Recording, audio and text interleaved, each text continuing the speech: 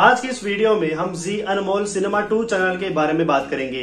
DD free dish की audience के लिए जी अनमोल सिनेमा टू भी आने वाला है। जबकि इससे पहले बात करें तो जी अनमोल सिनेमा भी डीडी फ्री डिश पर पहली बार आया था।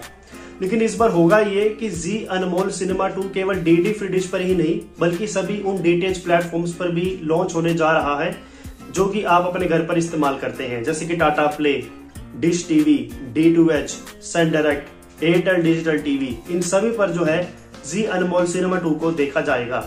लेकिन फ़िलहाल बात करें तो जी अनमोल सिनेमा टू को जो है फ़िलहाल डिश टीवी और डीडी फ्री डिश के उपभोक्ता देख नहीं पा रहे हैं। उसका कारण ये है कि अभी तक जी वालों को जो है क्लियरेंस नहीं मिल पा रही है इस चैनल को शुरू करने की ऑफिशियली लेकिन फाइनली इन्होंने जो है अभी हाल ही में क्लियरेंस को हासिल कर लिया है और 26 अप्रैल 2024 की तारीख तय कर दी है।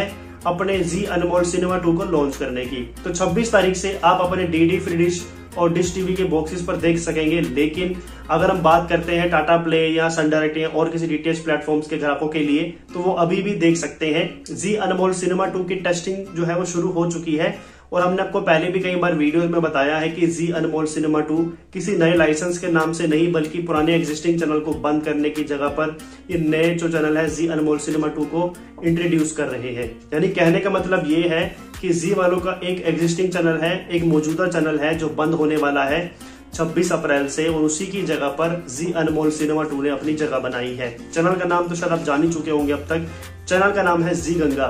जी गंगा एक भोजपुरी एंटरटेनमेंट का चैनल हुआ करता था और जी गंगा को हम उससे पहले बिग गंगा के नाम से भी जाना करते थे और उससे पहले बिग मैजिक गंगा के नाम से जब ये रिलायंस का हिस्सा हुआ करता था। लेकिन जब से जी ने इसको खरीदा, उसको नया नाम बिग गंगा दिया और बिग गंगा के बाद ये जी गंगा में भी ब्रांड हुआ। काफ़ी अच्छे खासे भोजपुरी कार्यक्रम भी इस पे चलाए गए, लेकिन भोजपुरी ऑडियंस ने इसे खास जो है प्यार नहीं दिया। कह लिया जाए तो भोजपुरी जो ऑडियंस है, वो मोस्टली हिंदी सीरियल्स को देखना ज़्यादा पसंद करती है। और फ़िल्मों में बात करें तो वो शायद फ़िल्मों को ज़्यादातर भोजपुरी में देखना पसंद करते हैं। तो इसी रीजन से जो है इन्होंने जी गंगा को बंद करके एक नया Hindi movie channel Zee Anmol cinema two को लॉन्च करने का फैसला कर लिया। जी अनमोल सिनेमा टू को तो एक तारीख से ही लॉन्च होना था, लेकिन ministry of information and broadcasting की ओर से चैनल के नाम को बदलने की जो अनुमति थी वो नहीं दी गई, समय पर नहीं दी गई। इसी रीजन से जो है इनको थोड़ा सा समय जो है इंतज़ार करना पड़ा और करीबन अप्रैल के 24 से 25 दिन निकल जाने के बाद ये 26 अप्रैल 2024 से फाइनली लाइव हो जाएगा अब सभी के टीवी स्क्रीन पर।